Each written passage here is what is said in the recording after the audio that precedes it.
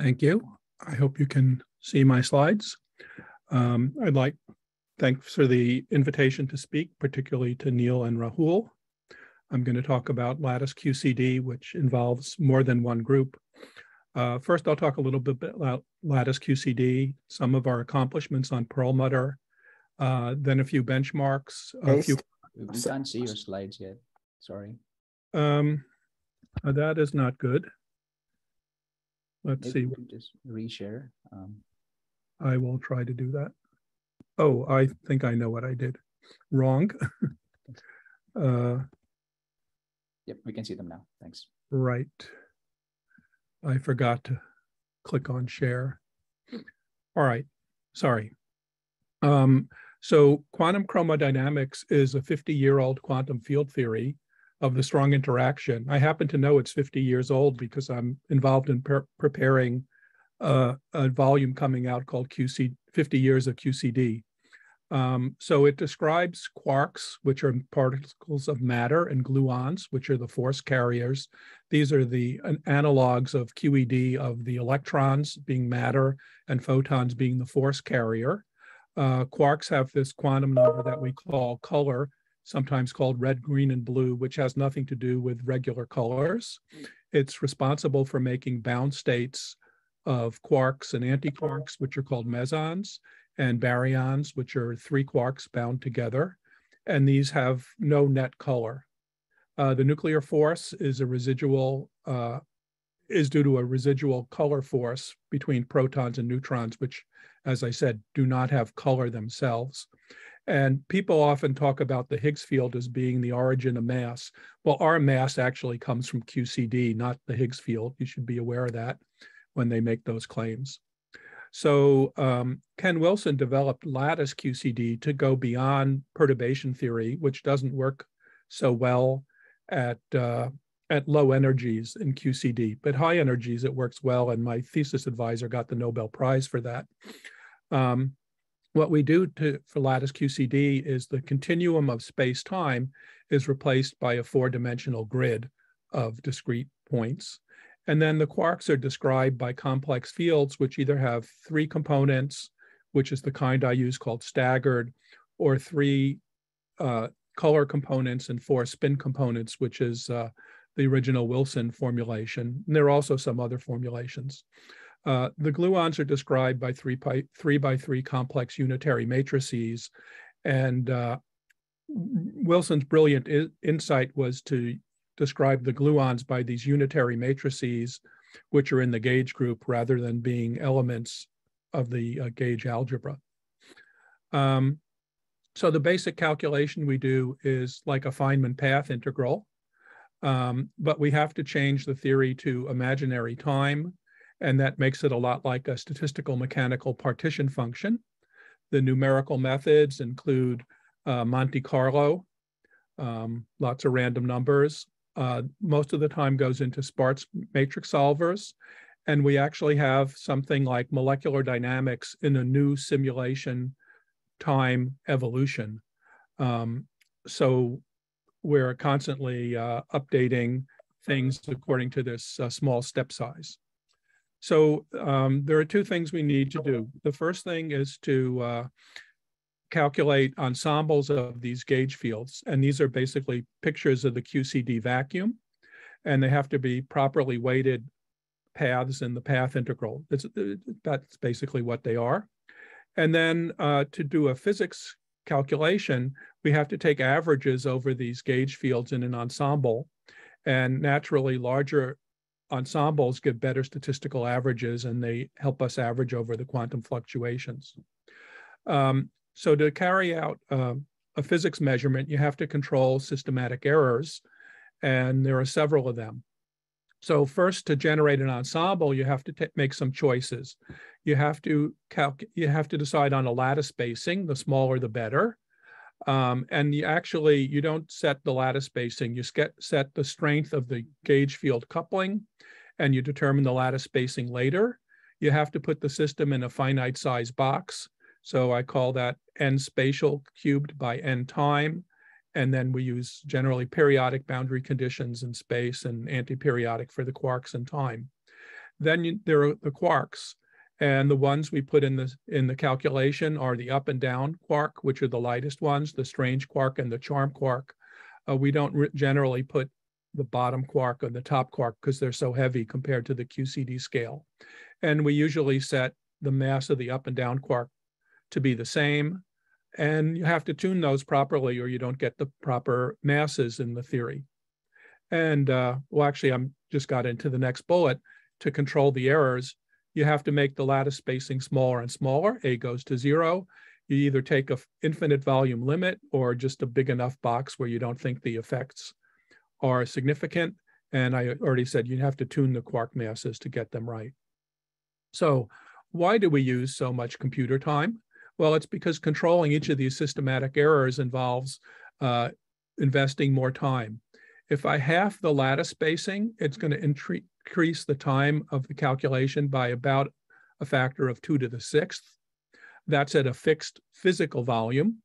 If I want to increase the physical volume, say double the linear size, then you get a factor of two to the fourth because it's x, y, z, and t, or if you're only exchange making space bigger, two cubed.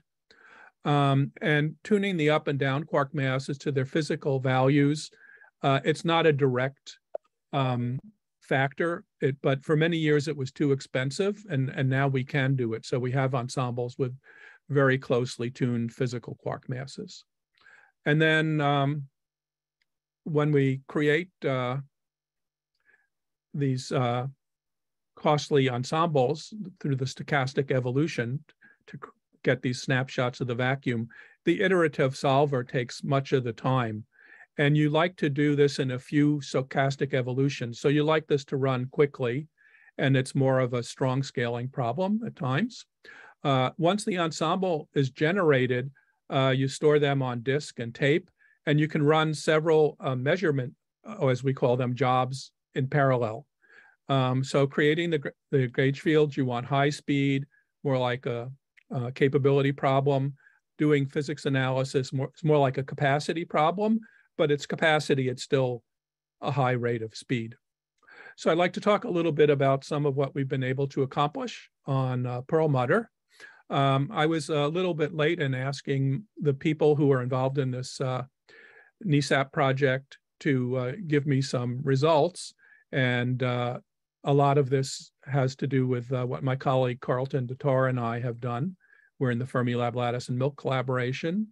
Um, Chris Kelly did send me some information, and uh, I have some information there. And I got another slide today, uh, which I should have time to show.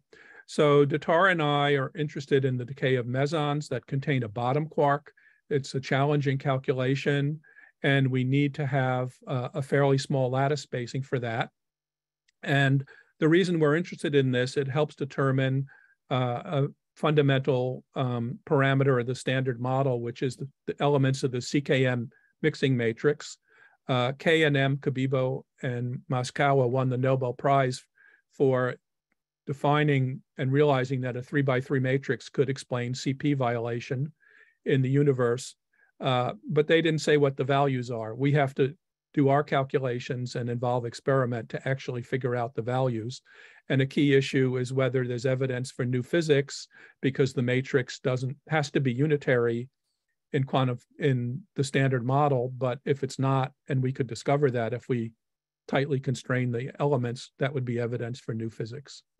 So I created a bunch of uh, new gauge configurations on basically the toughest lattice we have or toughest ensemble that we have generated for which we've generated configurations. And so this actually started uh, in 2014 generating configurations. And what I have here is a folded uh, timeline of what happened. So you can see in 2014, we had about uh, 400 time units, and our goal was 6,000 time units of running. We save a configuration every six time units. So we wanted a thousand configurations. And you can see we went along and along for about four years till mid 2018. And uh, this was done on several computers that I'll talk about later. And then there was a gap for about three years until Perlmutter came along. And you can see the red plot for Perlmutter. Wow, what a change in the slope. And this is the power of Perlmutter for us. Uh, but I have another comment about the power of Perlmutter. Uh, that graph was pre prepared in December 2021. Well, turns out uh, Perlmutter became much busier, busier when it wasn't so much early science and everyone was allowed on Perlmutter. So you can see that our rate of uh, progress slowed down considerably. So you both need a fast computer to do lattice QCD and a sufficient allocation to uh, to to use it. So we uh, completed our goal of creating 500 new configurations in the first quarter of the year, and uh, has been able to analyze about 50 of them. Uh, so a few comments. The Jefferson Lab Group uh, uses QDP-JIT, QUDA, and Chroma for their work. Uh, they did a new multi-grid solver and had some significant algorithmic improvements and a job that took 1,192 seconds on 256 Edison nodes, they were able to run in just 80 seconds on 32 Perlmutter nodes. And it's a combination of the hardware being much faster and the algorithm being improved.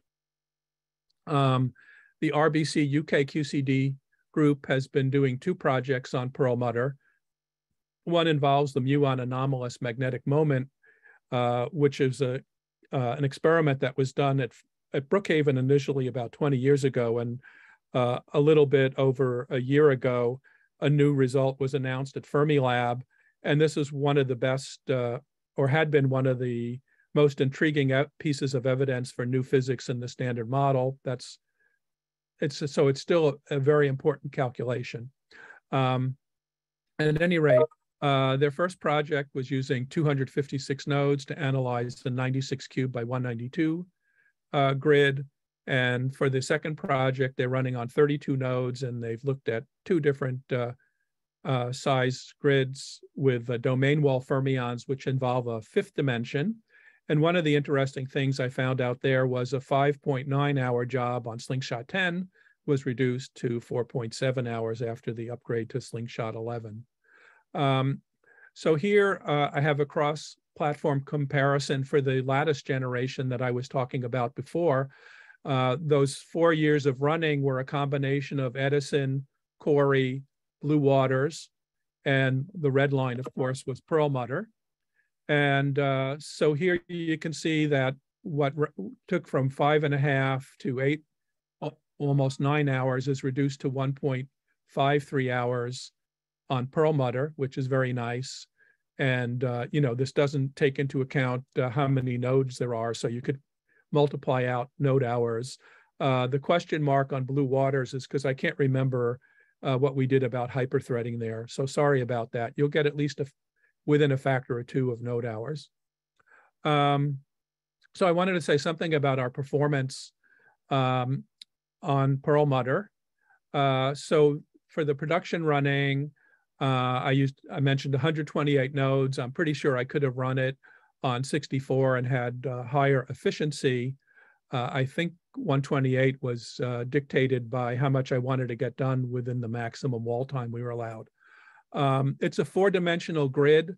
I cut the grid up only up only in three dimensions, which helps reduce communications. So the 144, uh, you know, was not cut the X direction, but Y, Z, and T were all cut.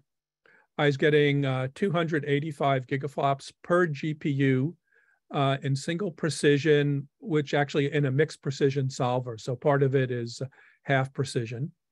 Uh, for link smearing, I was getting 150 gigaflops per GPU. Um, for the gauge force, uh, I was getting 1.5 to 1.7 teraflops. Uh, that code uh, avoids communication um, I noticed a, about a, a, decade ago that oh, it was really slower than it needed to be. And the link smearing and fermion force, which I don't have any result on here, probably could benefit from that. So here is uh, just a, uh, the conjugate gradient solver, a finite volume study. So I have different uh, traces for different numbers of GPUs. So the labels are all on GPUs L means the local volume on each GPU was L to the fourth grid points. Uh, this was an early study. Um, I could do a, a, better job now, but I noticed when I tried to redo this, uh, Perlmutter was very busy and I couldn't get my new benchmarks done. Uh, in this case, um, with when you go to 16 GPUs and beyond, we're cutting in all four dimensions. As I mentioned, even on bigger problems, we don't really have to do that. So you see within a node, one, two, and four GPUs, the performance is quite high. And uh, it, it mainly depends upon L. Um, when L is, uh, say, 32 or larger, you'd be proud of the performance. You probably don't want to do production running if someone asks how efficiently you're using the computer at uh, below 20. Uh, but you can also see that things scale pretty well uh, beyond 16 when we're no longer increasing the amount of communication. Uh, this is a similar plot for the gauge force and in view of time, I think I'll not say so much about that. Um, so I was asked to say something about software development. And so the Lattice uh, QCD community has been creating community software and sharing it for a long time. Uh, the QUDA project, which is the code, one of the codes that we use very heavily to uh, make use of NVIDIA GPUs, began in 2008 at Boston University. Uh, two of the main developers from BU, Kate Clark and Ron Babich, now work for NVIDIA uh, one of my former postdocs, Mathias Wagner, and another former postdoc at BU, Evan Weinberg, all work, also work for NVIDIA. And uh, Kate, Matthias, and Evan also uh, spend a lot of their time on QUDA, but not all of it. Uh, my work to support staggered quarks, which weren't part of the original QUDA project, was done with uh, Guochun Shi when I was on sabbatical at NCSA for the Blue Waters project, turns out uh, that project changed a lot. Um, and um, that was the best thing that I got out of it, starting the QUDA work. So QUDA originally only supported NVIDIA, but it's been generalized with backends to support HIP, SYCL, and OpenMP. Uh, I've run HIP on uh, Crusher at Oak Ridge.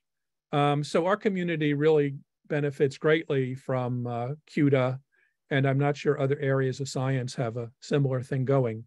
Uh, speaking of NVIDIA, I got this from Jiqun Tu this morning, uh, who is, I think he went straight from graduate school to NVIDIA, but he also works mainly on the domain wall fermions.